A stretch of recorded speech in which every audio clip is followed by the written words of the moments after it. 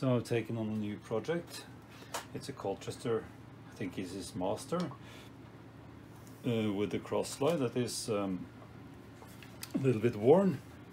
And also then, of course, the um, following um, saddle, uh, also worn. So these will be scraped in. And uh, that only I will not, the owner did not want to mess with the bed itself, hence we will probably leave the underside of the, of the saddle as is. Just so from the start here, um, the screw here is a bit special because of its uh, uh, using a, not the standard Acme or trapezoidal uh, thread form uh, but rather a rounded off type of thread.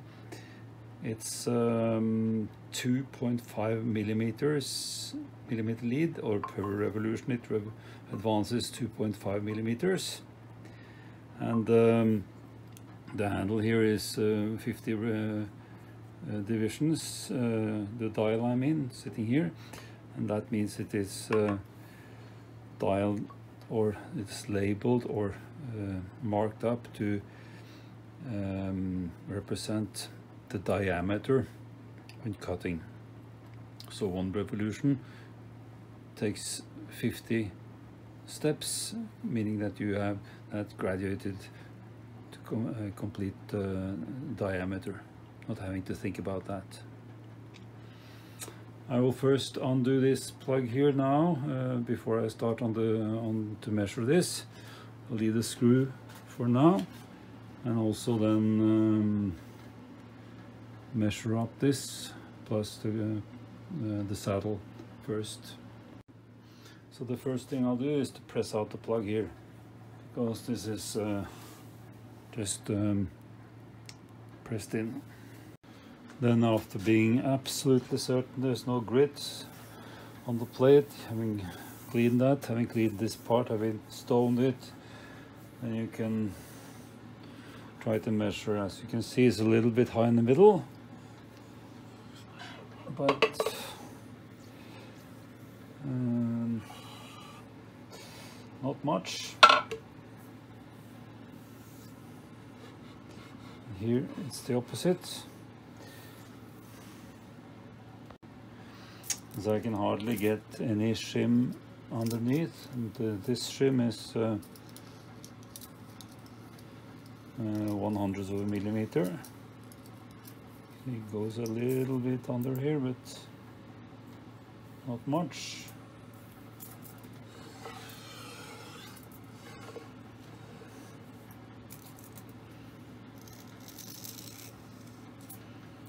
It's almost wants to go under, but not by much. So the next thing of course is to measure with, um, with uh,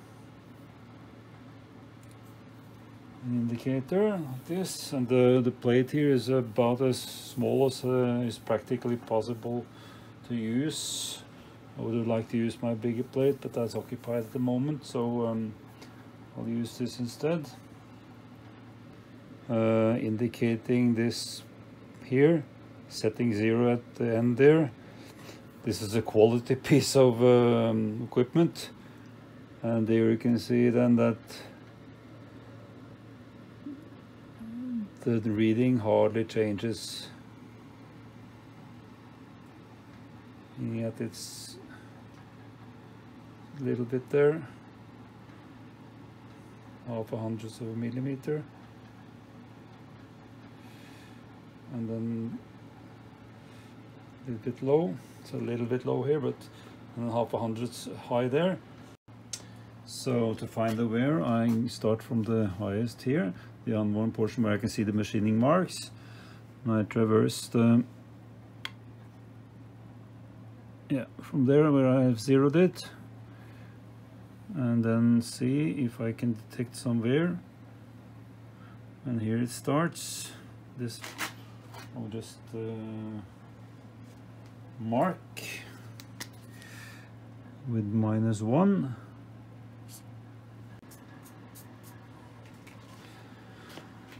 So then I can conclude that um, by resting it on the top surface which I say is flat it's a little bit bald but not much.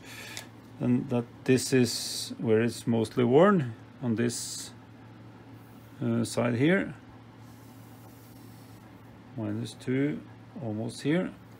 A little bit on the inside minus 1 there could be I mean I will this is the mo uh, most worn area uh, that side. So I'll have to at least take it down minus 2 so possibly minus 3 or take it down three hundredths of a millimeter or let's say um, thousandths of an inch